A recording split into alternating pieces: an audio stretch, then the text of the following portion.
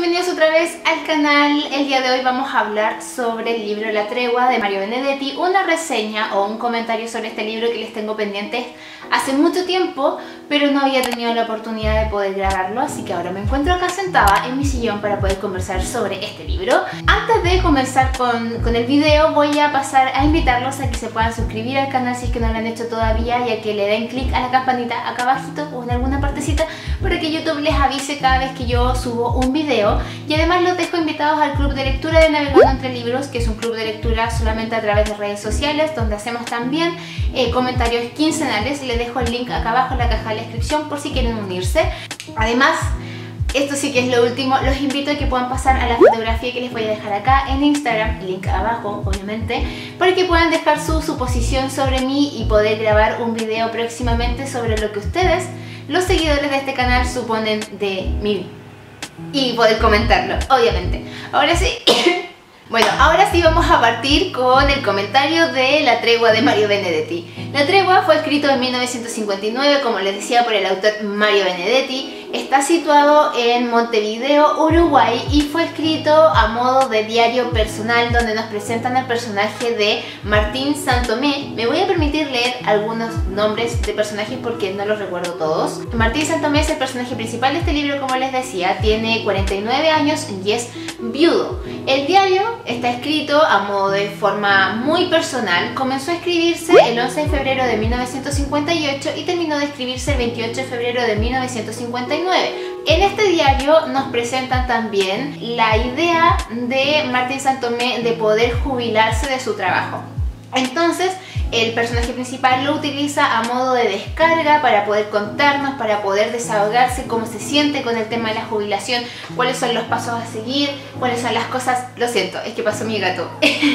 cuáles son las sensaciones que tiene él con respecto al tema de la jubilación, eh, el hecho de estar jubilándose a esa edad y, los años que lleva trabajando y así y así. Que el tema de la jubilación es un tema súper importante para, para, nosotros los seres humanos, creo yo, eh, sobre todo para aquellos que llevan toda una vida trabajando dentro de una misma institución o de una misma empresa.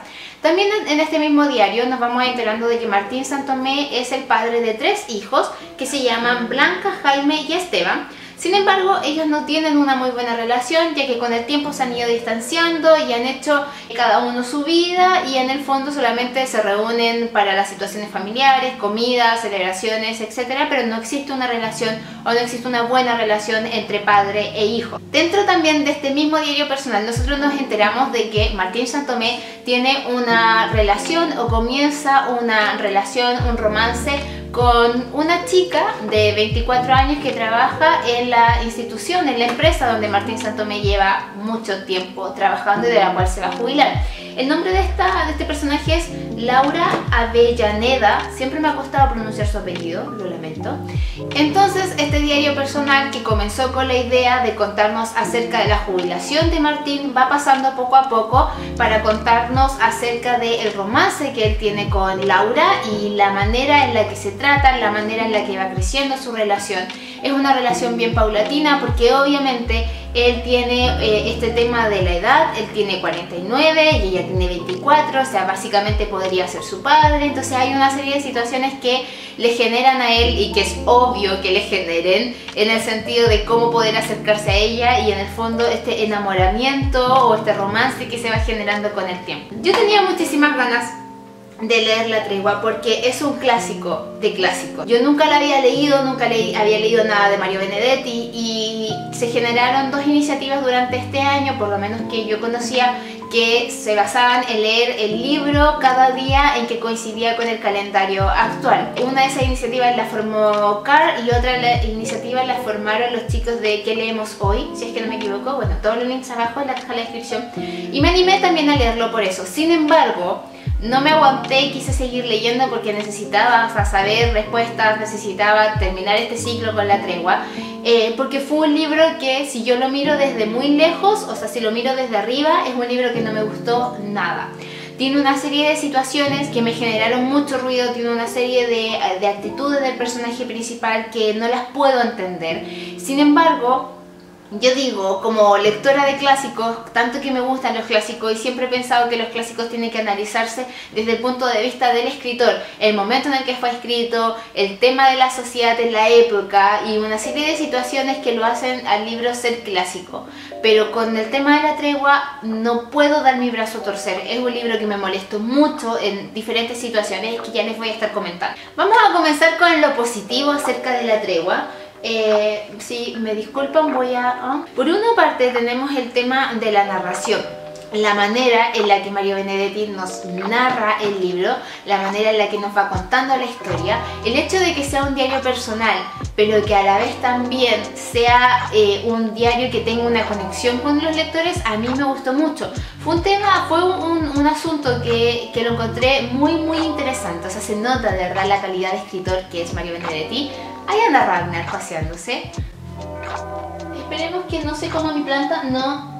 Mira, Viola. Ragnar. Hola. Hola. El tema muy positivo que tiene este libro es la manera en la que Mario Benedetti narra la historia súper bien contado. Nadie puede decir que Mario Benedetti es un mal escritor. El hecho de que sea un diario personal, pero que aún así, como les decía, tenga una conexión con los lectores, tenga eh, una manera de poder conectar toda la historia, eso a mí me gustó mucho. Disfruté leyendo este libro, no por la historia, no por la temática que trataba, sino que por la manera en la que estaba escrito. Eso me gustó mucho. Lo que me gustó también y que rescato como algo súper, súper positivo de la tregua es que es una historia de una vida normal, de una vida común y corriente. Nos presentan al personaje de Martín con todas estas interrogantes acerca de qué es lo que va a hacer en su tiempo libre, con tanto tiempo de ocio, qué es lo que va a, hacer de ahora, en adelante de su vida. Un minuto, tengo un café y me da miedo que se tome el café porque este gato es muy salvaje. Entonces, ese tipo de situaciones, ese tipo de preguntas, de interrogantes son súper comunes.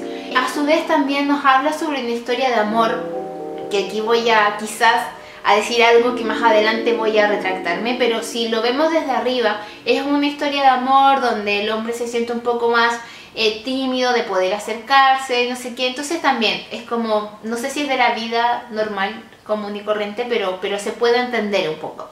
Vamos a hablar sobre lo negativo de este libro, sobre las cosas que a mí no me gustaron. Bueno, por una parte tengo escrito eh, el tema de lo, de lo chocante, entre comillas, que puede ser la diferencia de edad entre cada uno de los protagonistas.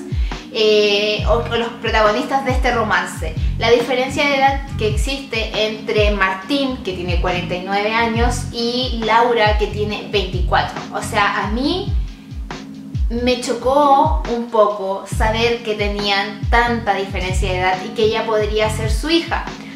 Sin embargo, sí existen casos de personas que se enamoran, que tienen esa edad y que tienen una buena relación y que se llevan súper bien y que su amor es real.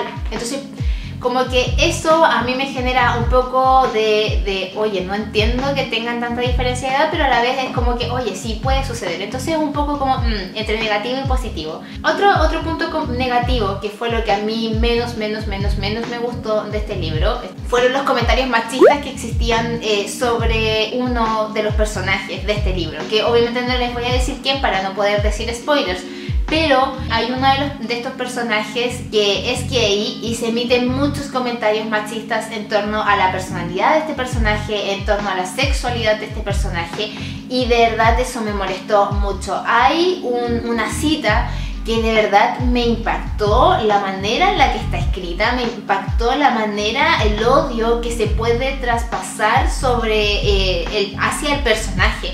Eso fue un punto que de verdad me molestó mucho. Todos estos comentarios homofóbicos en torno al personaje era como, oh por Dios, o sea, es que no lo entiendo. Y aquí es como donde yo les decía que los clásicos hay que leerlos bajo una situación, bajo una mirada diferente, viendo el contexto social, viendo el contexto en el que fue escrito. Sin embargo, como les decía al inicio de esta reseña, en este punto yo no puedo dar mi brazo a torcer. Me pasa que no acepto ningún comentario machista ni ningún comentario eh, homofóbico de ningún libro y esto es un claro ejemplo que a pesar de ser un clásico, que a pesar de que le guste a todo el mundo, estos comentarios de ese tipo me bajan todos los humos por el libro. Me parece que el, el autor da su modo de entender la vida con estos comentarios machistas y con estos comentarios homofóbicos que de verdad me sorprendieron mucho. O sea, es como que se traspasa un odio, como les decía, eh, tremendamente, tremendamente fuerte. Los comentarios machistas que se realizan son en torno a la relación de Martín con Laura, Esta, estas situaciones donde él pretende ser el salvador de ella, ser el salvador del mundo de Laura y no se le permite tampoco ejercer ningún tipo de pensamiento. El autor no le entrega, bueno, por una parte, hagamos un paréntesis, eh, hay que entender de que este es un diario personal, escrito desde el punto de vista de un hombre que es Martín. Pero por otro lado, a la protagonista, a Laura o a la chica, Laura, no se le presenta la oportunidad de poder tener una opinión. Todos los diálogos que ella tiene son como súper tímidos, son súper dependientes del personaje de Martín, no se le permite tener una acción propia, un pensamiento propio y eso me parece muy, muy, muy, o sea, fome, es muy lastimero que un escritor no le dé una voz femenina a su personaje. Es más usual, obviamente, de lo que uno cree o de lo que uno quisiera, pero eso pasa desde libro.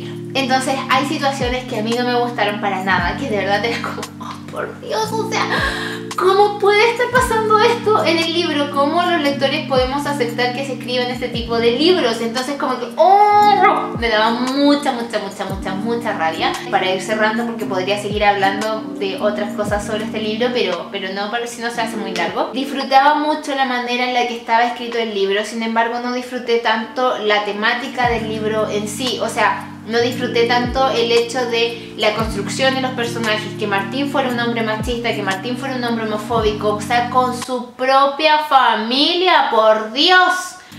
¿Cómo puede ser eso posible? No lo entiendo. Entonces, oh por Dios. No sé si voy a leer algo más de Mario Benedetti, así que voy a dejar mi comentario sobre el libro hasta acá.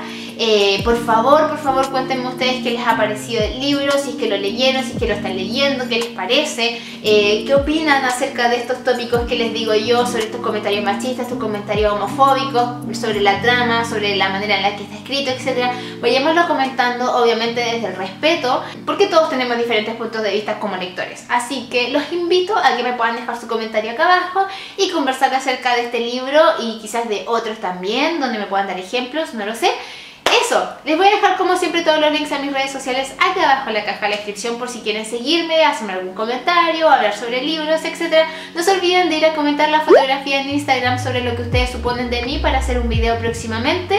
Y eso, nos vemos en otro video esta semana. Espero que estén súper bien, espero que les vaya muy, muy, muy, muy bien y muchos besos.